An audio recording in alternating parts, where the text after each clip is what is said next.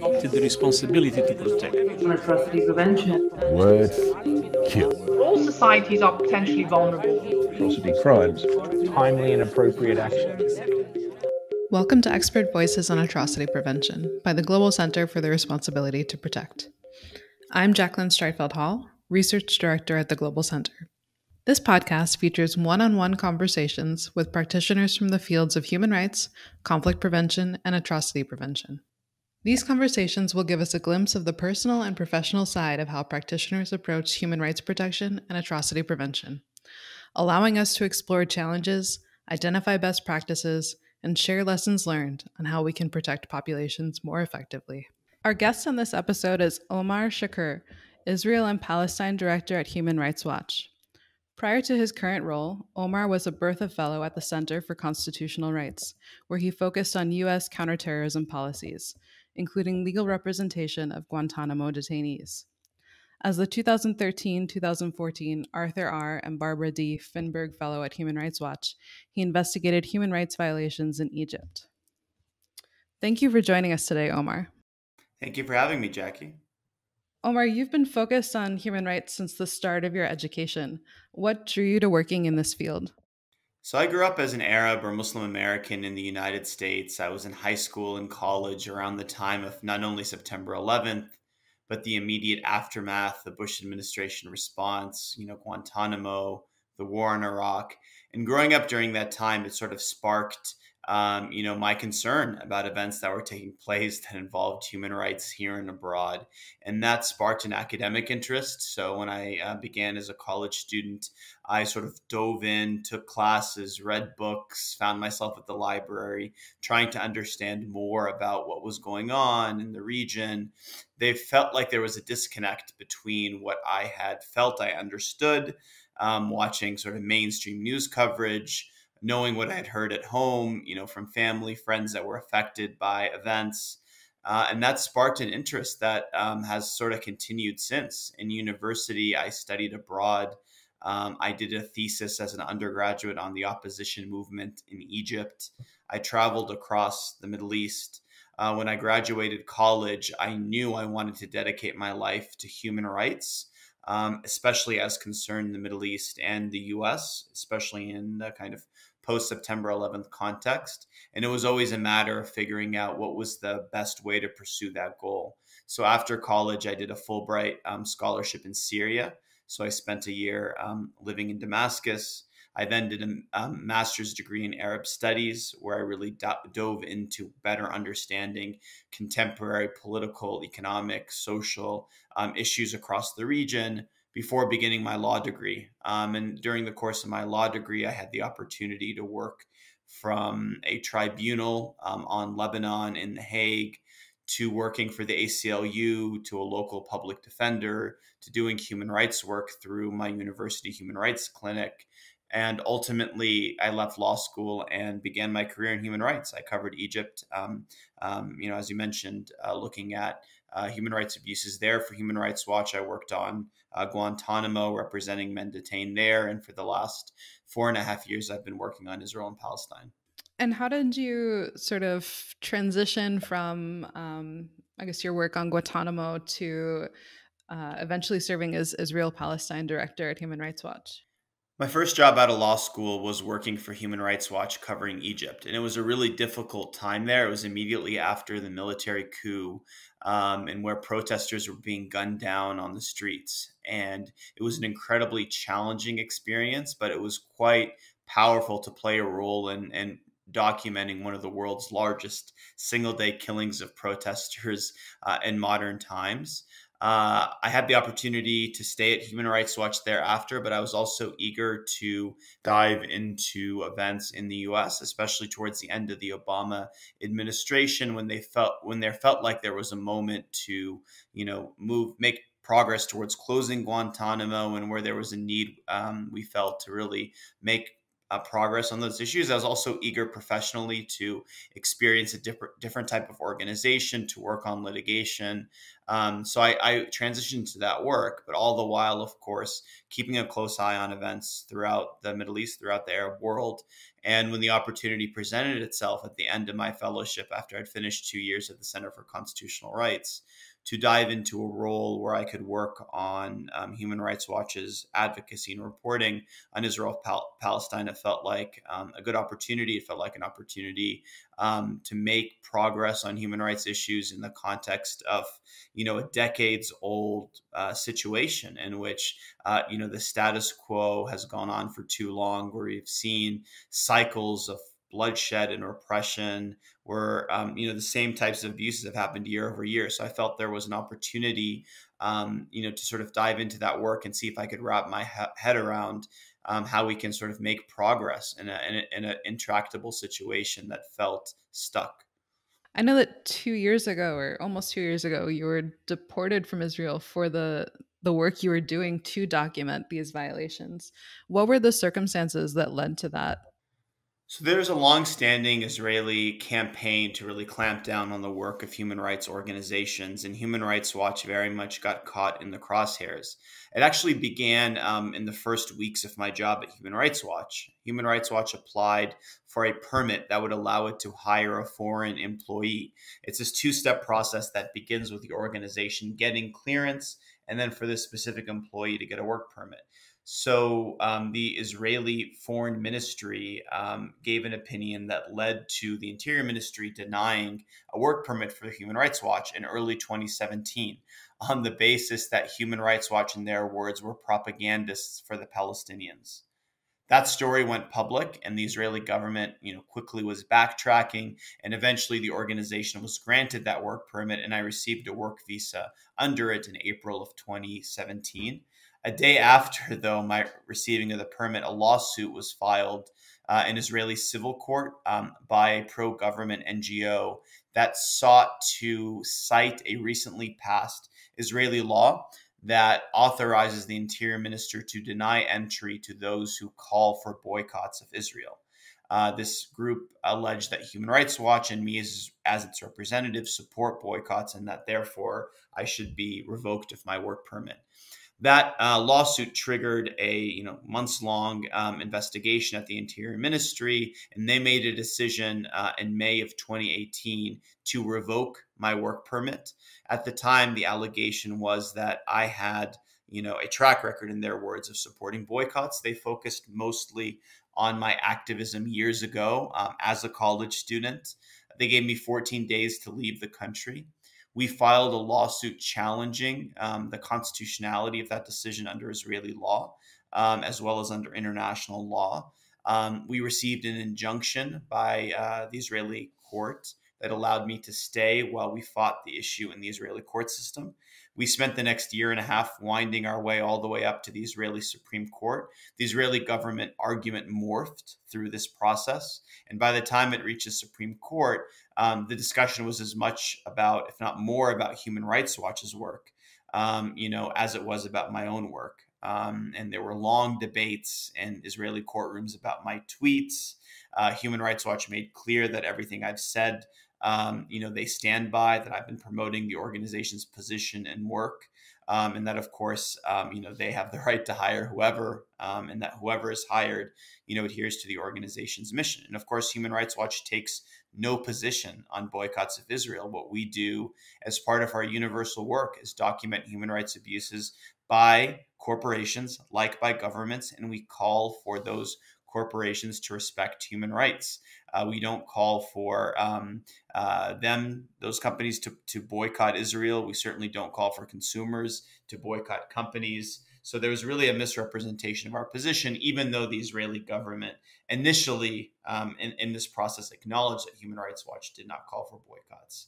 Um, but the Supreme Court upheld uh, the, the decision by Israel's Interior Ministry, um, not only uh, supporting my deportation, but making clear that even if you support companies not doing business in settlements because um, you know that entails rights abuses, that that's a form of boycott, um, and that's grounds for denying entry and even deporting um, somebody. And uh, pursuant to that, the Israeli government in November of uh, 2019 gave me I was given 20 days to leave the country, and on the 9th uh, night of the 20th day, I left. Um, I left Israel, and I've been continuing my job uh, across the Jordan River um, in Jordan um, since then. And how has that impacted your capacity to do investigations or interviews um, of populations within Israel and the occupied territories? So, on one hand, it's certainly um, affected our work. Um, you know, Human Rights Watch works in nearly 100 um, countries around the world. And of course, on the ground investigations are a critical part of our methodology. Um, on the other hand, we found other means to continue doing work, continuing to cover the same issues with the same methodology and intensity. We've done so via several different methods. One is we have a team of local staff on the ground who are very uh, professional, well qualified, worked side by side with me while I was on the ground for two and a half years. Um, in addition, we've supplemented our capacity. So we've had foreign staff fly in when there's particularly sensitive research that we're conducting. Of course, that was limited by the pandemic. Um, and of course, especially amid the pandemic, when much of us have sort of adjusted to ways to work virtually, Human Rights Watch has done the same. And we've relied on, you know, of course, phone, video, but also alternative means of verification of information.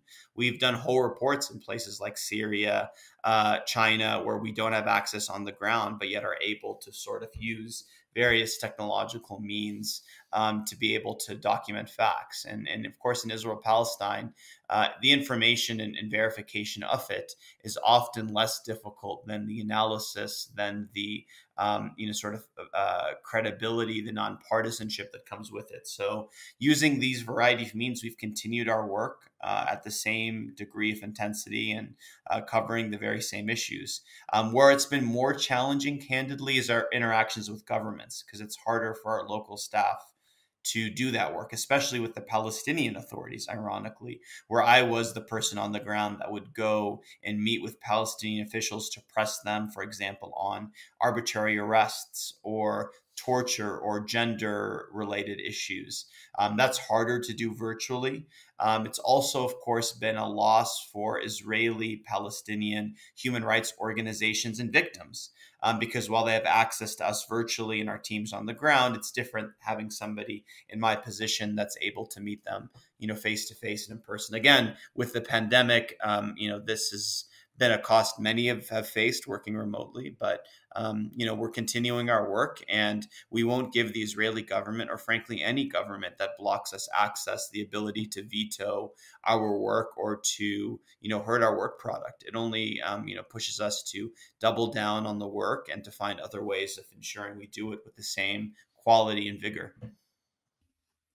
It's really impressive how um, I feel like everyone has been able to, in some way or another, turn um, the pandemic into a bit of a positive at times when it comes to doing interviews and and research.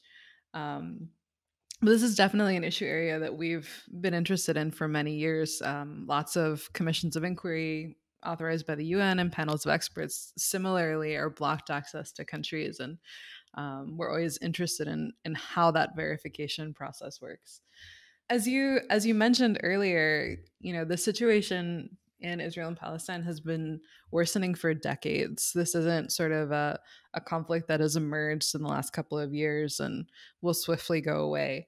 Um, you know palestinians have been facing institutional discrimination and repression uh, much of which amounts to collective punishment uh, and there are plenty of other crimes occurring in the region. Um, how did the region end up here with such pervasive and systematic violations of international human rights? I think the sad answer, and it's not unique to Israel Palestine. I mean, it, it's you can see similar trends in Egypt, which I used to cover, Syria, across the region, is impunity, is the failure to hold uh, perpetrators of serious abuses accountable for their actions. The reality here is for 54 years, um, on every day, um, you've seen the Israeli government carry out serious abuses against Palestinians. Um, that includes, of course, the buildings of settlements, which are illegal under international law, and the erection of the two tiered system that accompanies settlements the plundering of um, Palestinian land, the expropriation of resources, the um, you know denial of building permits, the home demolitions, while Jewish Israelis settlers you know receive these things um, you know in abundance, the application of dual legal regimes, the draconian nature of the military rule uh, of Palestinians, the discriminatory access to resources, um, and of course the um, you know unlawful ex- you know killings um, that can sometimes you know take the form of uh, uh, you know use of uh, deliberate and intentional lethal force in situations that go beyond what international law authorizes and the list frankly goes on. And when these activities take place year after year and there's no consequences for it and where much of the international community um, either turns a blind eye or fails to bring to bear the sorts of tools that a situation of this gravity warrants, things continue. And I think one of the problems has been the framing. For too long, people have viewed the situation as a temporary situation, as um, one that a peace process will soon uh, cure.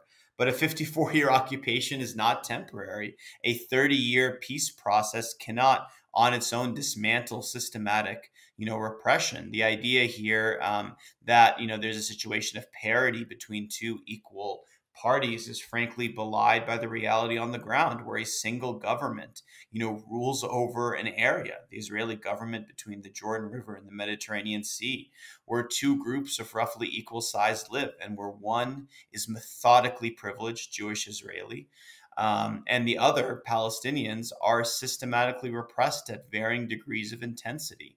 And the basic understanding of that dynamic has been obscured, you know, over the years by the assumptions that are frankly um, just false or fig leaves for the actual underlying reality.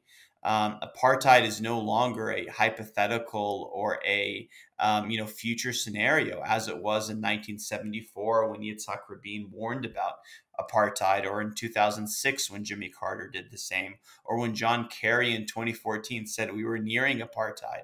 Apartheid is the present day reality for millions of Palestinians. And I think the reason we are here where we are today is primarily because there's been ongoing serious abuses, impunity, and a failure of the international community to treat the situation as a situation of crimes against humanity, of grave rights abuse.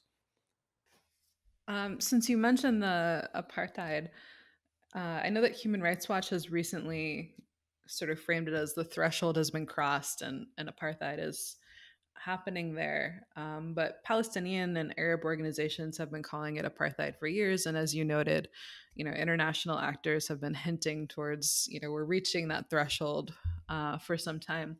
So, what led you to make this determination now in particular? Absolutely. I mean, Palestinians and, and other analysts and scholars have been um, using the term apartheid to describe the reality on the ground uh, for years. You know, for Human Rights Watch, when we look at things through a legal lens, we're not looking at, at it through a comparative lens or for through a historical lens. You know, we don't reach determinations about crimes against humanity lightly. The crime against humanity of apartheid involves three primary elements an intent to dominate um, a, by one group over the other, systematic oppression by the dominant group over the marginalized group, and inhumane acts. Um, you know, frankly, inhumane acts and the systematic oppression date back years, if not decades.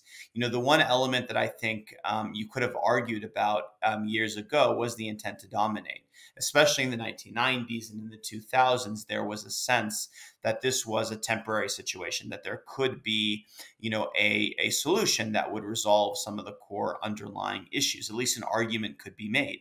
And the Israeli government, meanwhile, in court, you know, was arguing that you know justifying the legality of settlements by saying these are temp is a temporary situation. Publicly, they talked about wanting to resolve the underlying issues.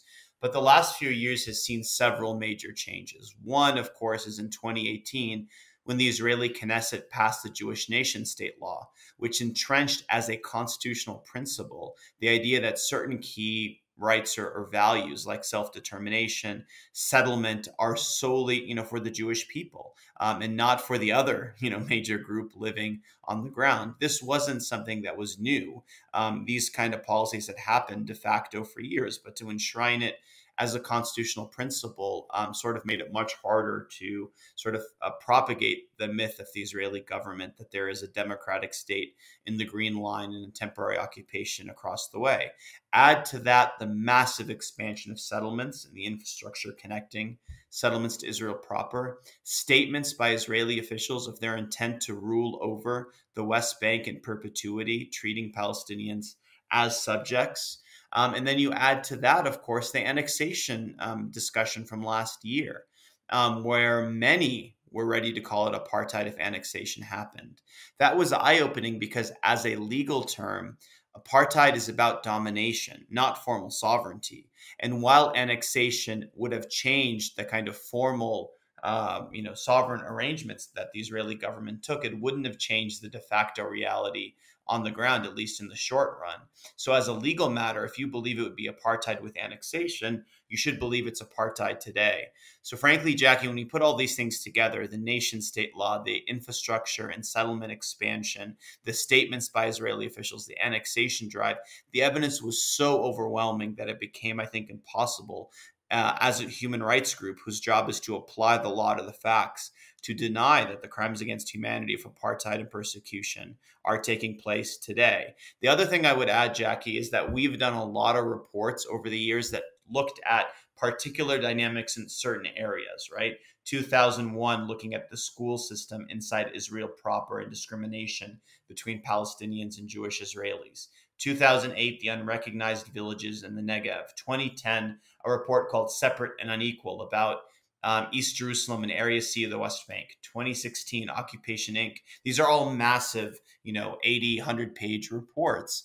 But this report, we decided to try to connect the dots. So instead of looking at one area and you know one phenomenon to really sort of look at Israel's treatment of Palestinians. So that scope, which was in part driven by a sense that um, that the underlying sort of reality on the ground that I laid out earlier wasn't sort of crystallized in the minds of many, combined with these shifts on the ground, led us to this conclusion. And certainly, it's not only Palestinian groups, I should say. Several Israeli human rights groups have reached conclusions on apartheid, including B'Tselem, the most prominent Israeli human rights group. Um, I should also note that just um, in early June, two former Israeli ambassadors to South Africa said that the situation um, and that Israel's treatment of Palestinians rose to the level of apartheid. In addition, in early June, South Africa and Namibia, at an event at the United Nations that I spoke at, said the very same thing, endorsing our report's findings. Luxembourg and France's foreign ministers in recent weeks have also talked about apartheid. So I think there's a growing recognition that the crimes are taking place today. And now the conversation really becomes you know can states and individuals find the courage to find a, to fight apartheid and to ensure that these grave abuses come to an end? Given that you have so much evidence of this and have, have very clearly connected the dots and um, established that the crime is occurring you know, the report received considerable backlash, not only from the Israeli government, which is sort of expected. No one likes being told that they're perpetrating crimes. Um, and obviously, they, they feel that what they're doing is right. Uh, but numerous other states and international figures seem to be pushing back on that label. Why do you think that's the case?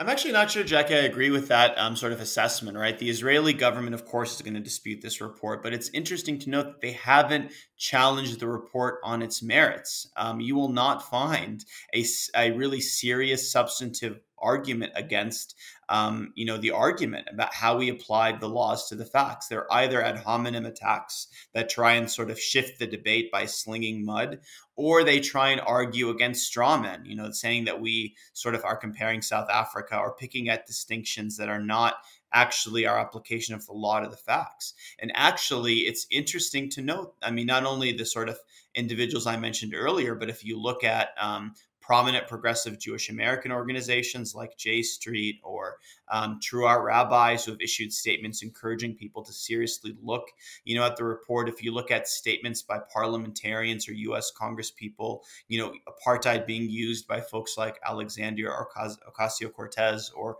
Cori Bush or in the Danish parliament or European parliament.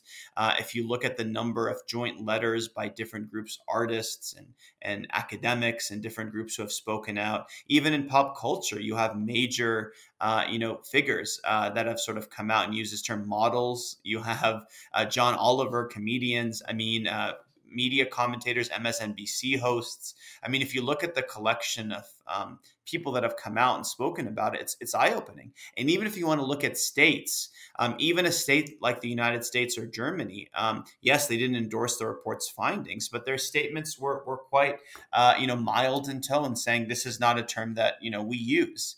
And sort of just to pause for a moment and think about, you know, how much that marks a shift in apartheid that Israel's two of its closest allies in the world did not issue a forthright, uh, you know, uh, rebuttal of, of, of, the assessment. Just said that's not the term we use. And let me just say, Jackie, I've done closed door meetings with, you know, well over a dozen governments, you know, probably way more than that.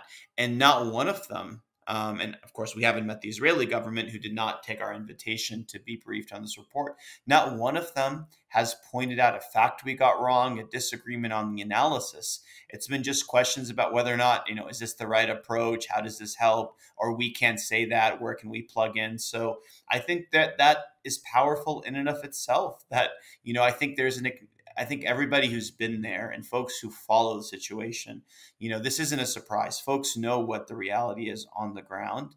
Um, and it's really the matter of states having the courage to, um, you know, call a spade a spade, to um, call a thing by its name. You know, the first step to solving any problem is to diagnose it correctly. The wrong diagnosis leads leads to the wrong conclusion. And for too long, there's been the wrong diagnosis. I do think there's been a sea change and in only.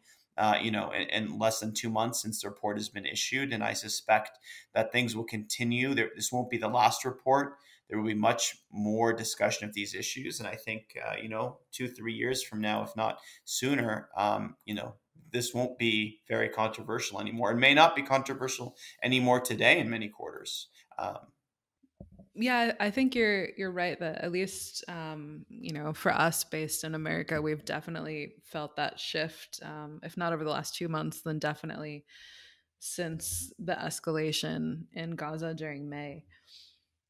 Um, since you mentioned impunity and accountability earlier, I'm curious, um, after the escalation during May, the Human Rights Council established an open ended commission of inquiry to investigate the root causes of recurring violations. So, not just the escalation, but sort of the longer term problems uh, in the region. How significant is this new open ended mandate?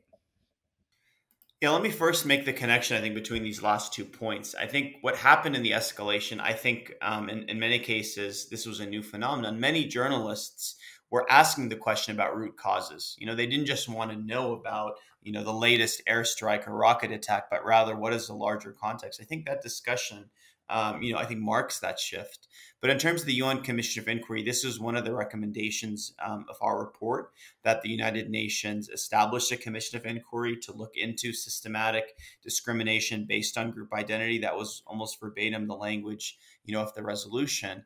Um, and the open ended nature is important because the nature of the root causes and the abuses are open ended and systematic and ongoing. So it's quite important that the UN has this kind of mechanism. They have one in place for the situation with uh, in Myanmar, and it's worth noting that there, um, you know, Human Rights Watch also found apartheid and persecution in the treatment of the Rohingya. So I think this is an important, um, you know, mechanism. Of course, it's only going to be important to the extent that, um, you know, of course, that it carries out its mandate independently, um, and we hope it will. But in addition, that states and others act on its behalf. I mean, when we're talking about crimes against humanity, as you, Jackie, and your listeners know, maybe as good as anybody, um, you know, these are crimes against all of us, crimes against humanity. And they're odious. They're among the most serious crimes under international law. And it's imperative that there that we that there are is accountability for them, that we don't simply accept their commission and wait for a political process that may or may not come anytime soon as the answer to these abuses. They need redress and accountability today. And um, you know, our report also beyond this commission of inquiry calls for the International Criminal Court to investigate and prosecute those Israeli officials implicated in these crimes, as well as for national courts to do so under the principle of universal jurisdiction.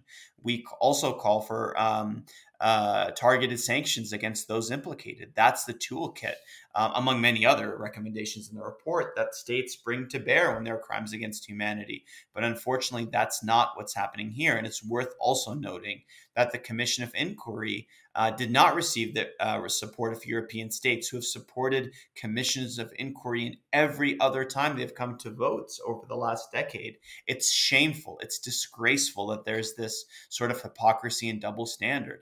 The reality here is yes, there may have been more you know UN resolutions and actions that have happened in this context compared to others, but the reason for you know that is the security council is blocked. Much of that is uh, you know declaratory and none of these have have, uh, have been followed by the israeli government that flouts international law and continues to commit abuses. And in a situation where you have a strong power that's an occupying power that's committing apartheid that's sanctioned by one of the world's global superpowers and where much of the rest of the world you know has failed to bring to bear the tools necessary you need um, the attention of the international community. It's it's warranted exactly for situations like this. This is a test of the international system, and frankly, the international system has failed, is failing, and will continue to fail so long as impunity and the status quo continue.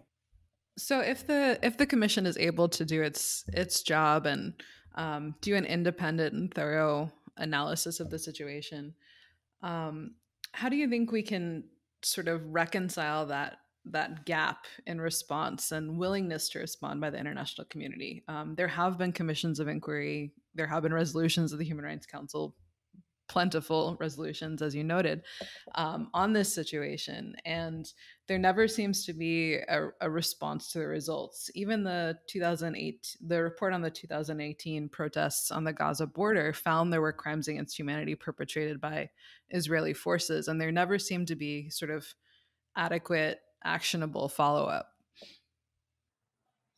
Yeah, I mean, I think the problem here is not the resolutions, right? I mean, it's the lack of, um, you know, the state party concerned respecting international law and norms. Uh, that's the underlying problem. The problem needs to be addressed by calling on that state to do so and using the tools um, that we can bring to bear. Look, we're in a situation of, um, you know, imparity of power um, and where too long the international community has sanctioned grave abuses. So we have to bring to bear whatever tools we can. Um, you know, these commissions of inquiry are important, even if they don't lead to accountability. They provide an important historical record. And this is a different commission of inquiry. It's the first time that it has this sort of mandate to look, um, you know, uh, at uh, issues on a more open-ended, uh, you know, nature that that looks at the situation not only in the occupied territory but also uh, inside Israel. So I think it's an important mechanism. That doesn't mean it's going to have a different fate um, than previous investigative mechanisms, but those mechanisms, even though they didn't lead to um, you know, prosecutions and convictions. Unfortunately, Israel is far from the only state that carries out grave abuses where impunity reigns years or decades in. Um, but it has a, an important historical record. It has set the information straight about the serious abuses taking place. Um, but of course, it's been focused on particular issues, particularly particular bouts of hostilities or uh, dynamics in a certain area. But for this um, particular commission of inquiry to look at root causes, to look at systematic discrimination, which really underscores so much of Israel's rule over Palestinians, is quite valuable. I mean, for Human Rights Watch, this conclusion, um, you know, certainly, um, you know, led us to uh, make recommendations that we haven't made before in this particular context, and, and maybe it will spur, if not action by Israel, but maybe actions by states that claim to, uh, you know, respect uh, the international uh, legal order and um, these sorts of decisions. Um, you know, I think there is a shift uh, in popular opinion, and and we hope that'll lead to you know shifts when it comes to uh, state action as well. And since you mentioned that your report has um, recommendations regarding the International Criminal Court, um, do you think that the pending investigation and case before the ICC could represent a potential watershed moment? I think the International Criminal Court case is of tremendous importance because um, it represents exactly the sort of issue for which the International Criminal Court was created, where the doors to domestic justice have been effectively closed where victims of serious rights abuses have faced a wall of impunity for decades, where perpetrators not only continue in power, um, but continue to commit abuses. Uh, and this is not only Israeli authorities, but Palestinian armed group and Palestinian authorities as well. And so this is a very important case. And I think it's uh, uh, incredibly important that the court um, found that it had jurisdiction over crimes, serious crimes committed um, in the occupied Palestinian territory, and that the prosecutor opened a formal probe.